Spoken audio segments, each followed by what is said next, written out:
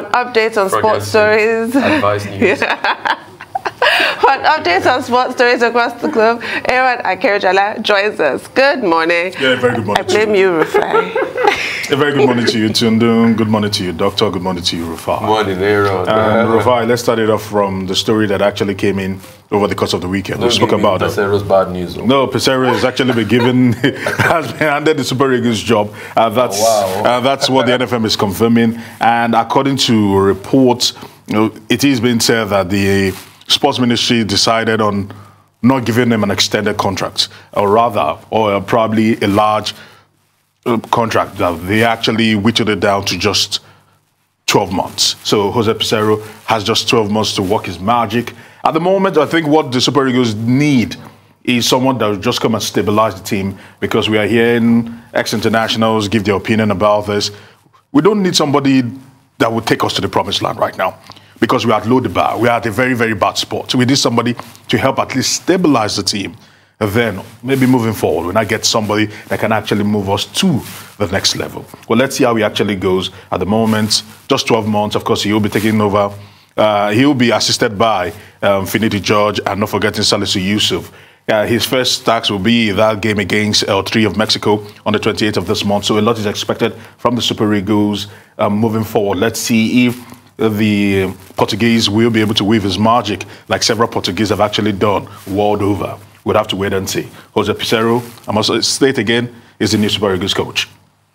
Away from that, Okay, you say it's sad. Away from that, it was almost turning into a sad affair for um, the citizens yesterday as Manchester City came from behind to draw 2-2, but they had an opportunity to win it with Riyad Mahrez, the Algerian, fluffing his lines from 12 yards, and it ultimately ended 2-2, giving Liverpool the slightest of hopes. And other results actually came in. Everton were very lucky that it was a bad day all around at the bottom of the table as they lost to Brentford. A massive fight back from um, Brentford there, and Spurs strengthening their grip on trying to finish fourth on the table with a very slender win over Burnley. Now, away from that, uh, in the 150th FA Cup, um, Liverpool once again had a deja vu moment. They played 120 minutes against Chelsea like they did in the League Cup and ultimately, on penalties, came out tops with captain on the day, Cesar Azpilicueta, fluffing from 12 yards. Also, Sadio Mane also had a day to forget. Uh, he almost handed it to Chelsea with his um, with his Senegalese teammate saving, talking about Mendy before um, before Liverpool slaughtered the all-important one, and Tsimikas actually getting it there. The, this, the bench was actually a little bit nervy before just erupting in rapturous celebration and leaving one man, Thomas Tuchel, red-faced.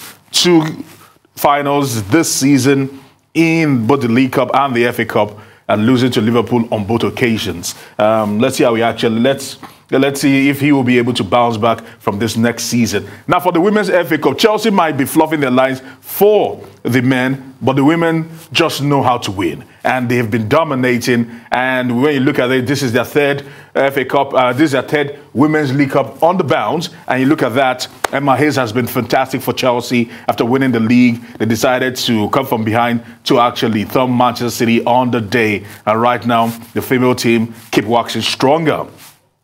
Talking about women, let's give it up for our Nigerians Asisat Oshoala as she notched up 20 goals for the season, winning the female Pichichi in the Spanish Primera, in the Spanish Feminine Division in Spain, and Barcelona doing almost the unthinkable. We know they are very, very solid. We know they are fluid and we know they are very efficient. But going 30 out of 30 this season is just remarkable. 159 goals scored.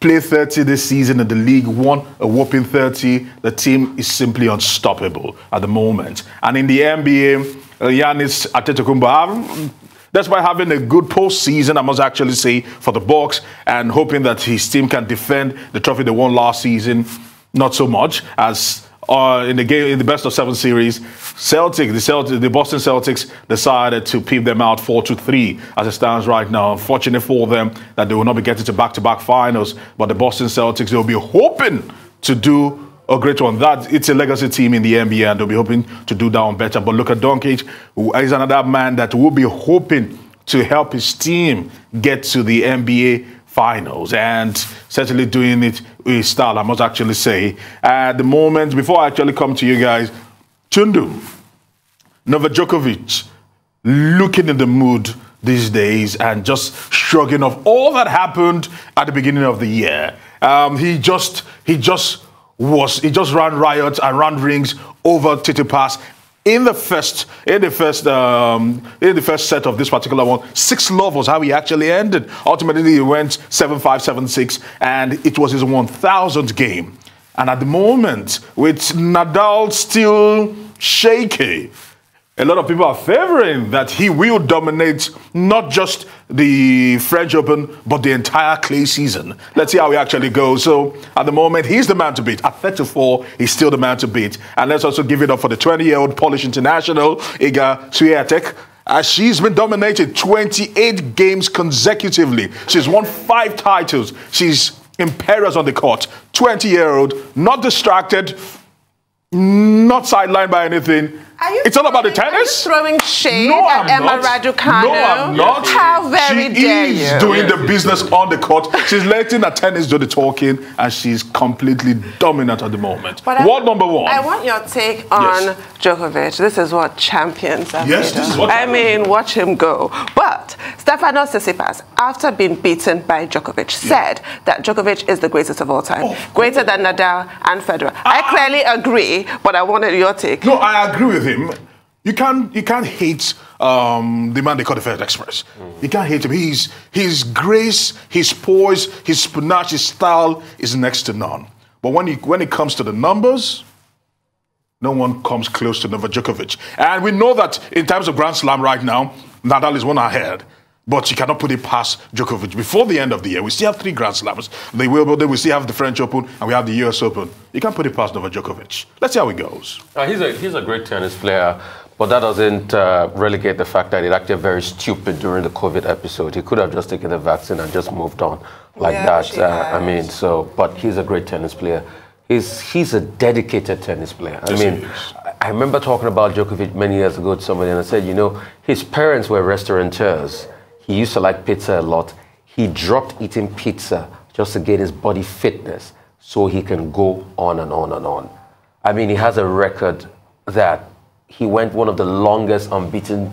Uh, and I think, did he break Ivan Lendl's record? No. No, I don't think he did. He didn't. So I, don't think it was two games close to breaking Ivan Lendl's record when he went on a run and he wasn't beaten. I mean, it just shows you the greatness of this this Serb, you know, this Serb tennis player, and uh, he just shows you what he stands for, the passion, the dedication, and all of that. And when I tell the story of Djokovic, I like to also remember that all of this would not have been possible if a certain Russian leader called Boris Yeltsin didn't like tennis so much and put in a lot of money as regards investing in tennis and people from the Baltic states and everybody benefited. Yeah. And because we all all saw them become yeah, stars. and we all saw them, Yeah. the Marat Safins of this world, you know, all of them benefited just because somebody that was a leader was so passionate about tennis.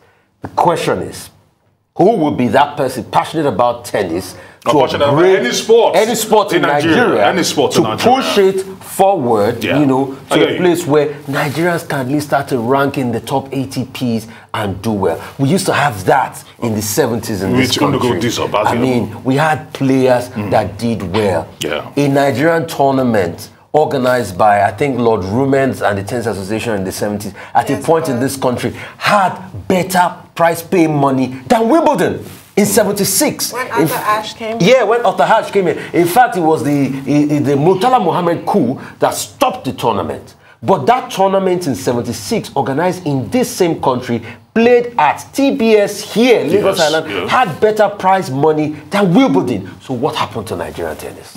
Well, congratulations to uh, Djokovic. Yes. That was his uh, 1,000th Career, victory. career win, yes. career with victory. So it's remarkable. It's phenomenal. And uh, if you have uh, Tsitsipas uh, paying tribute to him, I think it's not uh, misplaced.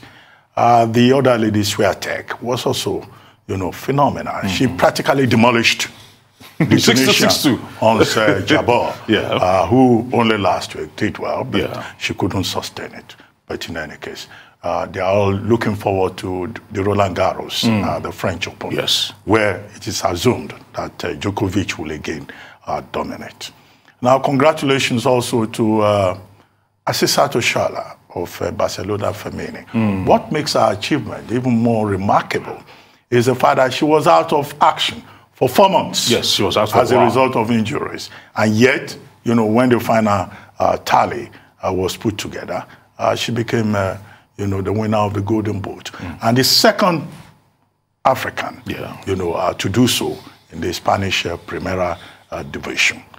Now, congratulations also to uh, uh, the uh, Chelsea ladies. Yeah. Now, last week, they took the Women's Super League title, Mm-hmm. and then seven days later, you know, they were very impressive. In the FA but uh, I don't think Man City uh, ladies should feel bad because uh, this was rated as probably, you know, one of the best FA Cup finals Yes. uh, by the Keenly contested. by, by the com- commentators. Yes. The energy, the drive, the determination uh, on both sides uh, before uh, Sam Kerr, you know, put in that, uh, you know, goal that decided everything. And congratulations to Emma Hayes, a fourth FA trophy with uh, Chelsea. Chelsea.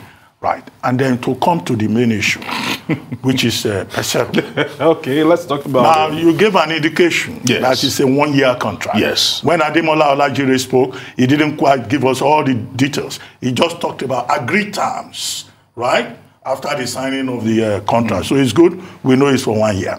But the man you refer to, Fuludu, Edema, right? okay. Edema That's his- Fuludu. Yes. Edema, Edema, Edema, Edema Ex-international. uh, Fuludu. Yes. He is saying that he's not excited, that the solution to Nigerian football is not foreign coaches, and that we need to develop capacity at home, particularly our league. The league in Nigeria is uh, a shadow of what it used to be. In the glorious days of uh, Abiola Babes, Iwuanyanwu Nationale, you know, and all of those uh, stationery store. Stationery stores. BCC Lions of Gboko, you know, all those teams. So what happened? No, okay. Let, no, I haven't finished. Okay. But the question I want to ask you, some of those are great times, since you have reported one, is a man going to stay in Europe? They're staying in I'll be, I'll be coaching from No, it's going Europe. to be it's going to be domiciled in a Nigeria. DHL coach. No, it's going to be domiciled in Nigeria. He will Nigeria. be here. Yeah. Okay, so how much is he going to be paid? We're not sure of that yet. We don't have the figure yet. And When they do the contract signing, maybe we might get an inkling into So that. finally, John Fashanu says he knows the man very well. And that within six months, all of us will start protesting. that he doesn't think that Pesero is good enough. but that he will not go into details. I hope John Fashanu will not be proven right. No, but now, now, doctor, let me put it. Let's put it here now. Um, for those, I think. I think the problem that we have in Nigerian football is that talk about foreign and local-based coaches who should take Super Eagles to the next level. It's not good. Forget it. Mm. Is that not what they said about? Is that not what they said about Gernot Rohr? But we're meant to eat the humble pie because even people will still tell you that Gernot Rohr was a cancer to Nigerian football. But something he did, and I always shouted out to the high heavens, is that what most coaches could never do in Nigeria. Qualify Nigeria without us punching calculators or having any permutations. Thank he did it. much. Thank you very much. Let's much. allow the man walk and let's see if it will actually be for the better. the On the 28th, he will have his auditions out there and let's see how, what happens. Maybe uh, John Fashanu will end up as a prophet. Thank you very much. We'll have to wait and see. Doctor, we'll wait and see. they say they know, they know the man, though. He will not do well, though. Believe John Fashanu. All right, let's see how it goes. Always a pleasure.